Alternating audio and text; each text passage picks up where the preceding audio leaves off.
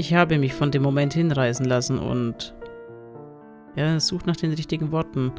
Bin gerührt, dass er endlich offen etwas zu dem Thema sagt. Oh. Henry. Schon gut. Ich glaube, ich habe verstanden. Und danke. Danke. Wofür? Danke, dass du endlich zugegeben hast, dass da etwas passiert ist. Es war ein bisschen so, als wäre ich verrückt geworden und hätte mir alles nur eingebildet. Er lächelt verständnisvoll. Es macht's nicht besser. Es macht's einfach nicht besser, Mensch. also so von außen betrachtet, ne? Es tut mir leid, wirklich. Ja, ja, das sagt er jetzt nur so. Nein, wir wissen, dass es ihm leid tut, aber trotzdem. Äh, ich habe versucht, so zu tun, als ob nichts wäre, aber das war nicht leicht. Deinem Blick auszuweichen war eine Qual. Es läutet. Und natürlich wird er jetzt von der Schulglocke gerettet. Meine Fresse. Henry rührt sich nicht. Wir sehen uns an. Ich lächle ihn an und werde rot. Boah. Mann, fallt's doch endlich übereinander her, dann ist endlich gut. Das macht einen verrückt. Okay, also wir müssen auf jeden Fall ein Foto machen. Gibt es noch mehr als das Notebook? Nee, also bisher sehe ich nur das Notebook. Wow, das Modell finde ich schon seit Monaten toll.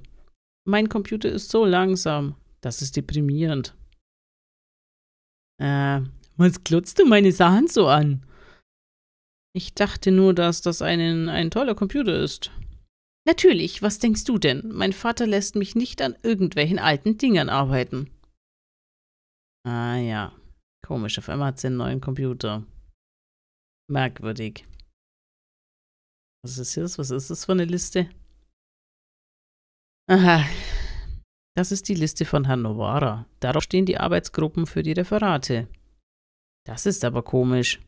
Enzo und Jessica haben das Thema Kriege von heute gewählt. Äh, genau wie Jasmin und Clement. Äh, jetzt wird mir einiges klar. Mhm, genau. Äh, ich habe das Gefühl, ich kann endlich durchatmen. Endlich hat Henny, Henry mit mir über diesen Tag gesprochen, dass ich es nur rauskrieg. Es tut mich... Ach, er tut nicht mehr. Was ist denn heute los? Was ist denn hier los?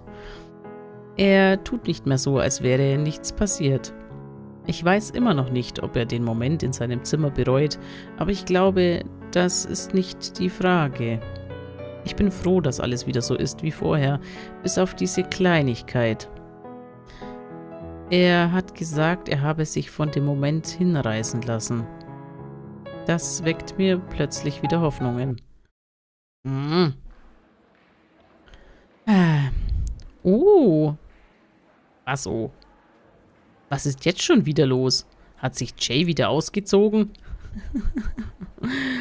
er sollte aufhören, morgens solche Fotos zu posten. Davon muss ich mich jetzt erstmal erholen. Äh, ist er endlich mal ungeschminkt? Und hast du jetzt kapiert, dass er morgens scheiße aussieht? ah, ich lache. Nein, vor etwa einer Stunde hat er ein Foto nach dem Joggen gepostet. Er ist so sexy. Henry wirkt verlegen, lächelt aber. Äh, wie so oft redet Jasmin von Jay. Ich glaube, er findet, dass sie übertreibt. Zeig es mir mal. Oh. Jetzt übertreib mal nicht. Guck mal, wie er sich angestrengt hat, damit er seine... Ba Was? Damit man seine Bauchmuskeln sieht. Er sieht aus, als hätte er Verstopfung. Cle Clement ist einfach der Beste. Es tut mir leid. Immer wieder, immer wieder herrlich, ne? Ah, Jasmin ist natürlich nicht begeistert. Und nun folgen die üblichen Diskussionen. Henry und ich sehen uns an und lachen. Hm, er hält meinen Blick stand. Ja, das ist jetzt dieses Etwas zwischen uns. Ich streiche mir eine Haarstelle hinter das Ohr. Ich spie spiele die Schüchterne. Sie ist schüchtern manchmal, zumindest. Äh, ich muss äh, total albern aussehen, aber das konnte ich mir nicht verkneifen. Ich merke, dass mich jemand beobachtet. Oh Gott. Enzo sieht mich überrascht an. Bestimmt hat er die Blicke zwischen mir und Henry bemerkt. Er ist ja nicht doof. Ist er eifersüchtig? Der Lehrer kommt und schließt die Klassentür auf. Alle gehen hinein. Ja. Wie macht man sich äh, Feinde in 3, 2, 1, ne? Wie in jeder Philo-Stunde herrscht Chaos.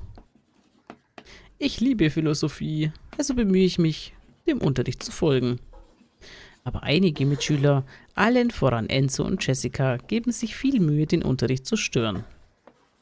Ein bisschen Konzentration, bitte. Der Satz des Lehrers hat keinerlei Wirkung. Zur Tafel gewandt, schreibt er weiter. Plötzlich sehe ich ein Geschoss auf mich zukommen, höre Enzo und seine Kumpels kichern. Durch ein Blasrohr schießt er gekaute Papierkügelchen. Es ist widerlich. Der Lehrer bekommt natürlich nichts mit, denn die Großmäuler trauen sich nur, wenn er ihnen den Rücken zudreht. Sie zielen auf das Pult des Lehrers, auf dem schon einige feuchte Papierkugeln kleben. Ich sehe, ich sehe Enzo angeekelt an. Er hält meinem Blick provokativ stand. Er kaut ein weiteres Papierkügelchen vor und zielt ganz offen auf Henry. Er trifft sein Opfer am Hinterkopf.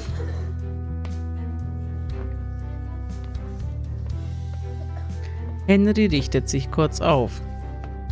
Er hat gemerkt, was passiert ist. Er sieht die Kugeln, die schon überall kleben. Aber sonst bewegt er sich nicht. Enzo und seine Komplizen krümmen sich lautlos vor Lachen. Er sieht mich siegessicher an. Ich könnte kotzen. Der Typ ist so ein Idiot. Mit einem teuflischen Lächeln spielt er sein Spiel weiter. Henry treffen mindestens fünf Kugeln am Kopf. Ich könnte explodieren. Aber als ich gerade aufstehen und eingreifen will, fasst Henry in seine Haare und sammelt die daran klebenden Kügelchen heraus. Enzo freut sich diebisch, dass Henry nun angeekelt reagieren wird. Nun, dass er sich nichts anmerken lässt. Ach, nur, dass er sich nichts anmerken lässt. Henry erhebt sich und geht auf ihn zu. Er bleibt vor Enzo stehen und sieht ihn von oben herab an. Was ist? Hast du ein Problem, Junge? Endlich dreht sich der Lehrer um, um zu sehen, wer da redet. Henry, warum sitzen Sie nicht an Ihrem Platz? Henry dreht sich zum Lehrer um, um, ihn höflich, um ihm höflich zu antworten. Enzo hatte etwas neben mir fallen lassen. Ich wollte es ihm nur zurückgeben. Zufrieden mit der Antwort dreht sich der Lehrer wieder zur Tafel um. Doch sobald er nicht mehr im Blickfeld des Lehrers ist, dreht sich Henry zu Enzo um und verpasst ihm einen gewaltigen Schlag in den Nacken. In seiner Hand hatte er noch immer die feuchten Papierkugeln gehalten, die jetzt auf der Haut des Schützen kleben. Enzo ist überrumpelt und sucht nach Worten, während Henry sich zu ihm äh, hinunterbeugt. Ich glaube, du hast da etwas verloren, dann reißt er ihm den Papierbogen aus der Hand, aus dem Enzo seine Geschosse herstellt. Der steht auf, um Henry zu antworten, aber Henry ist schon wieder an seinem Platz. Kopf in den Nacken. Äh, nein, Schelle in den Nacken, sowas. Enzo, setzen Sie sich! Oh Gott. Enzo ignoriert die Aufforderung des Lehrers und raunt Henry zu. Dich krieg ich, Junge! Dir werde ich's zeigen. Henry verzieht keine Miene und schreibt weiter von der Tafel ab. Setzen Sie sich, sonst können Sie sofort zum Direktor gehen. Enzo setzt sich wieder. Viele Mitschüler, die, dies, dies, die dieses Spektakel verfolgt haben, kichern leise. Am Ende der Stunde stürmt er wütend als Erster aus der Klasse. Tja, war mal Gegenwind, ne? Laila, kommst du? Die Jungs warten auf uns. Ja, so, was haben wir denn? Ach so, wir müssen jetzt ein Foto machen. Nein, halt Foto. Foto. Machen wir mal ein Foto. Bin ich gespannt, was das ist. Das Blatt Papier, aus dem Enzo seine Munition hergestellt hat. Henry hat es ihm wie einem Kind abgenommen. Ich sehe mir genauer an, was darauf steht. Sieht aus wie Dialoge aus einem Interview. Mein Gott, der Text steckt voller Fehler. Absolut unwichtig eigentlich. Ah, Gott. Äh, was guckst du dir da an? Daraus hat Enzo die ekligen Papierkugeln gemacht. Esmin wirft einen flüchtigen Blick auf das Papier und nimmt es mir dann aus der Hand. Erschrocken reißt sie die Augen auf. Was ist? Stimmt was nicht? Laila, das ist... Das ist wortwörtlich das Interview mit Stefan, dem Soldaten, den wir gefilmt haben. Was?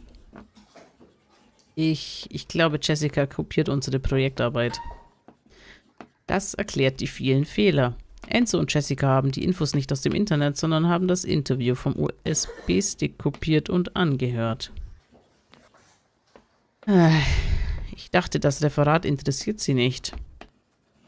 Wie der Unterricht im Allgemeinen. Sieht aus, als wäre sie plötzlich ehrgeizig, leider mit unehrlichen Mitteln. Ich glaube, es gibt einen Grund, weshalb sie angefangen hat zu arbeiten. Meinst du, sie hat endlich kapiert, dass sie sonst ihr Abi vergessen kann? Oh, ich glaube nicht, dass es so aus einem edlen Motiv ist. Nein, ich denke eher, dass der Vater ihr die... Die, wie sagt man, einen Riegel vorgeschoben hat. Wow, du hast Enzo echt total blamiert. Hahaha. Uhuhuhu. Ja. Ich glaub's immer noch nicht. Ich schwör's dir. Ja, ich habe vielleicht ein bisschen übertrieben. Nein, spinn nicht rum. Das war perfekt.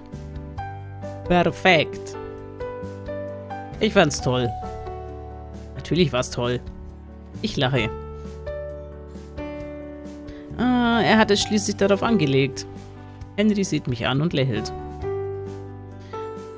Er beugt sich zu mir herüber. Ich dachte, wenn ich nichts unternehme, würdest du dich einmischen. Das Risiko wollte ich nicht eingehen. Oh, wie gut er sie kennt, na. Oh, ich, äh, erwischt. Also, danke. Er richtet sich wieder auf. Übrigens organisiert mein Musiklehrer in zwei Wochen ein Frühjahrskonzert.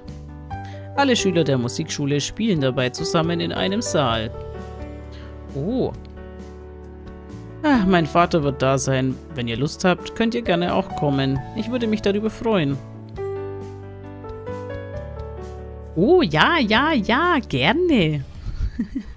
du meinst ein Cello-Konzert? Clemens scheint nicht besonders begeistert zu sein. Na komm, lieber Cello-Konzert, als wenn er bei Jay aufs Konzert muss. Eigentlich ist er bei Jay auf dem Konzert, aber das weiß ja niemand. Ah, Gott.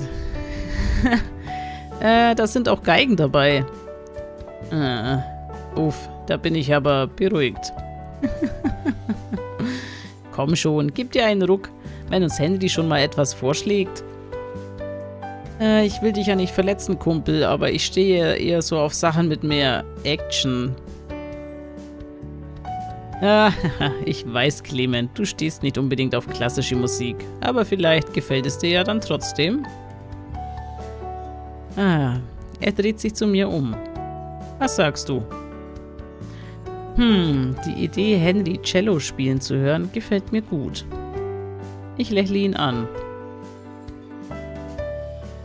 Klar, ich freue mich.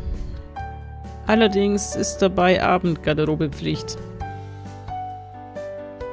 Alles klar. Hat doch niemand ein Problem von denen, die machen sich doch alle gern schick. Ach ja. Jessica geht mit ihren Freundinnen an uns vorbei. Unglaublich, dass sie in meinen Sachen gewühlt hat. Was? Was meinst du damit? Jasmin sieht mich traurig an. Laila und ich haben herausgefunden, dass Jessica an meinen Sachen war, um Teile unseres Referates zu kopieren. Sag das nochmal. Ich glaube leider, es stimmt, Clement. Wir haben so viel Arbeit da reingesteckt. Der werde ich was erzählen. Henry hält ihn am Arm fest. Beruhig dich, Clement. So machst du es nur noch schlimmer. Clement sieht Jasmin an. Sie ist enttäuscht. Es ist hart für sie zu sehen, dass jemand ihre Arbeit so dreist kopiert hat. Das Referat ist ihr wichtig. Ach, Jasmin. Sie hebt den Kopf und versucht aufmunternd zu lächeln. Das wird schon Clement. Dass sie ein paar Passagen kopiert hat, heißt doch nicht, dass das... Als er Jasmin so traurig sieht, tobt Clement erst recht vor Wut. Ich ziehe meine Freundin zu mir heran. Komm, wir gehen jetzt mit. Ach, wir reden jetzt mit Jessica. Aber, aber, aber was sollen wir ihr sagen?